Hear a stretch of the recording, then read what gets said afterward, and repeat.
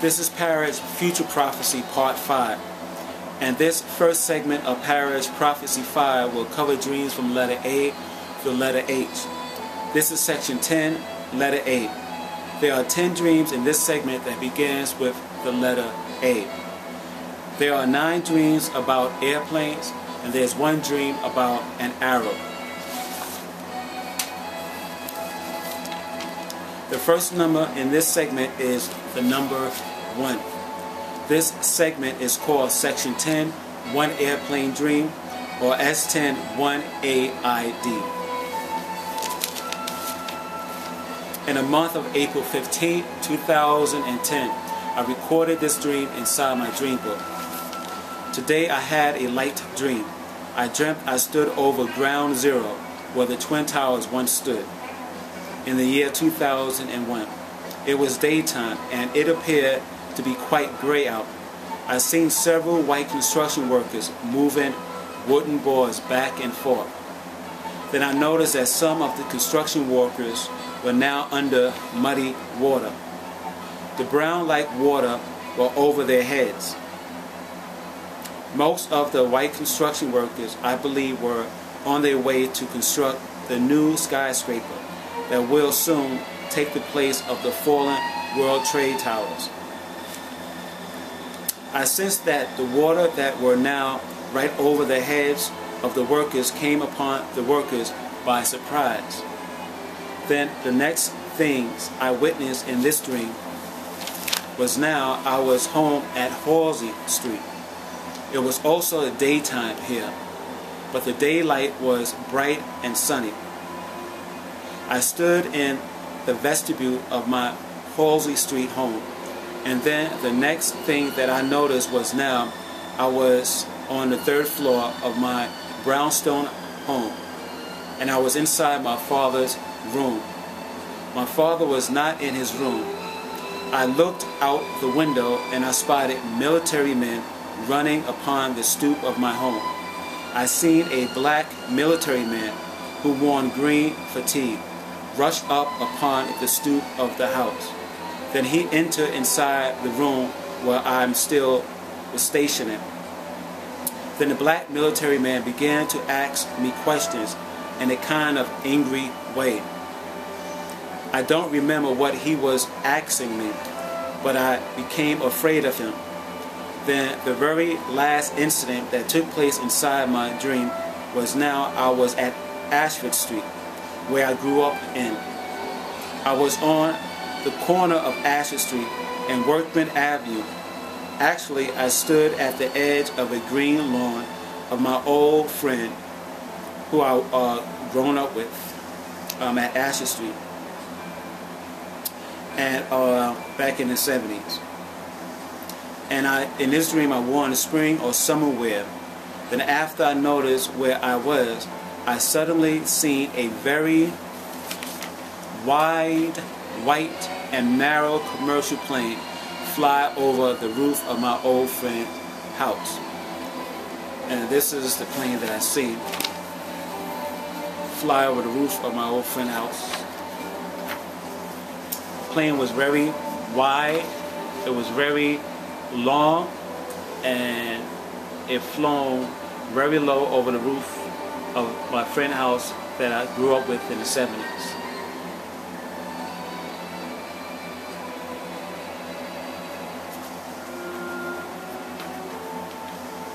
This plane must have been 70 or 80 feet above the ground I stood on, and the place and the plane also must have flown 20 feet above my friend, you know, uh, home over his over the roof. The sight of the sudden appearance of this strange aircraft almost made me go into cardiac arrest. I was truly frightened at what I seen. This airplane headed down Wortman Avenue, which is opposite direction to John F. K. Airport, and more close to Starrett City than I woke up. The next number in this segment is the number two. This piece is called Section 10, 2 Airplane Dream, or S10 2AID. In the month of May 29, 2010, I I recorded this dream inside my dream book. Today I dreamt that I was walking around somewhere in an American city. It was daytime. The sky above me was very blue. Then after I gazed upon the blue sky, I then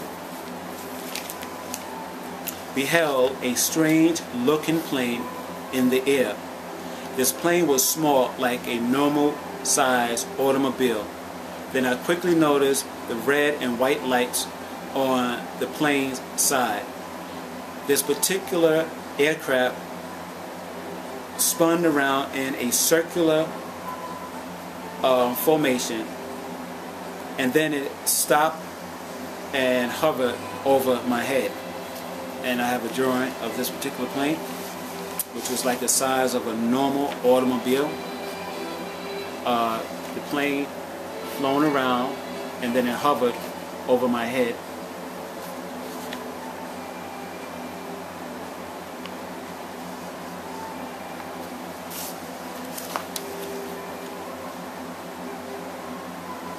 The plane was about a hundred feet in the air, and from nowhere a white man appeared before me, and he began to discuss with me about the red and white lights on the wings of the aircraft that continued to hover over me. I believe the man told me that the red light and the white light on this plane does not mean that this airplane is a commercial plane. The next number in this segment is the number 3. This piece is called Section 10, 3 Airplane Dream, or S10-3AID. In the month of July 2nd, 2010, I recorded this dream inside my dream book. Today I had a light dream. I dreamt that I was once again inside my old house at Ashford Street. I was on the third floor and I looked out the window. It was nighttime. Then suddenly I seen a gigantic commercial aircraft fly over the roof of my house. This airplane was very low to the ground. The airplane was also tilted towards its left side. The plane kept flying towards the direction of John F. F. K. Airport then I lost sight of the plane because it continued to fly out of my sight.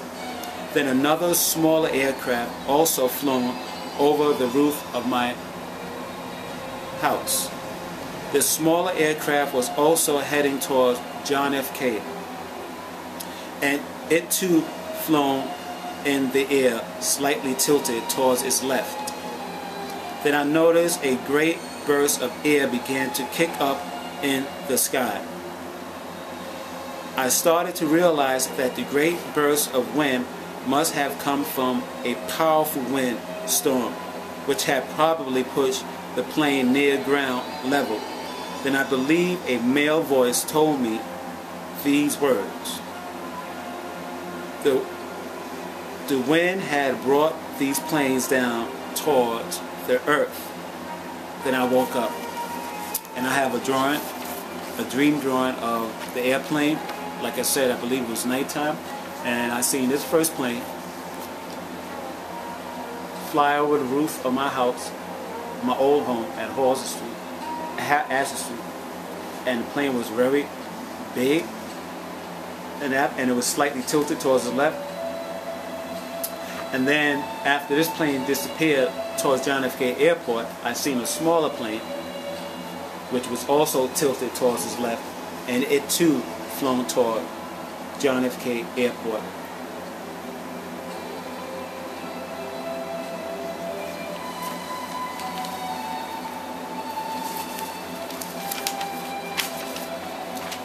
The next number in this segment is the number 4. This piece is called section 10, 4 Airplane Dream or S10 4AID. In the month of July 5th, 2010, I recorded this dream inside my dream book. Today I dreamt that I was at Ashford Street and I looked out from my younger brother's bedroom window. I believe it was daytime, maybe a late afternoon. I looked out the window for a while and and then lo and behold suddenly I heard a sound of planes coming in from the left side of the sky. There were probably five or six semi-small aircraft flying south. These planes flown in a kind of formation. I sensed urgency inside this dream. Then after the planes had flown by, I then spotted a fleet of helicopters, which I will talk about these helicopters in Parrish Prophecy 5, letter H. And I have a drawing of these fleet of airplanes. They were gray in their appearance, and they flown like in a straight line formation, and they were, were semi-small.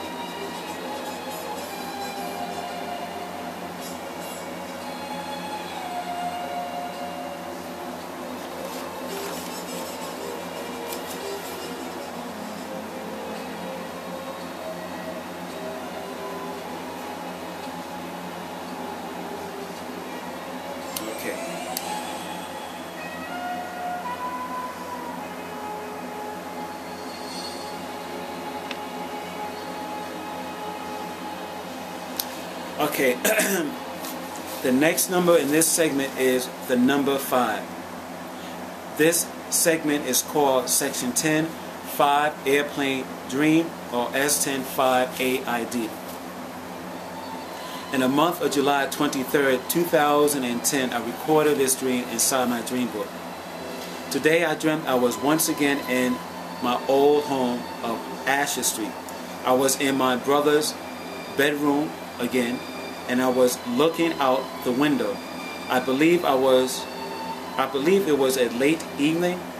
Then a gigantic commercial airplane flown very low, even like uh, very low, uh, the more lower than the, uh, the other big plane I've seen uh, fly over my house in my previous dreams that I just mentioned. In this uh, particular dream, I was able to see the plane's landing gear and some of its tires. Also, I spotted the plane door was open, wide. The airplane kept flying lower to the ground beneath. Um, as if it was trying to make an emergency landing. The aircraft was trying to fly towards John F. K. Airport. Then I spotted another airplane fly over my home. This plane was a cargo plane. It was white like in a commercial uh, plane. Um, and then it also uh, flown looked like towards John F. Airport. Okay, as this plane continued to um,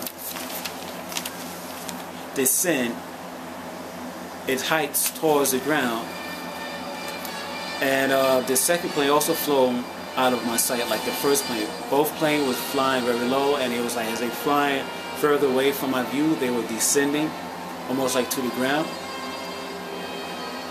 The next thing that happened in this dream was now I was looking at a brick wall and then I see firemen, leaders, or leaders of firemen um, stations, such as captains, captains and stuff, in a dark blue uniform.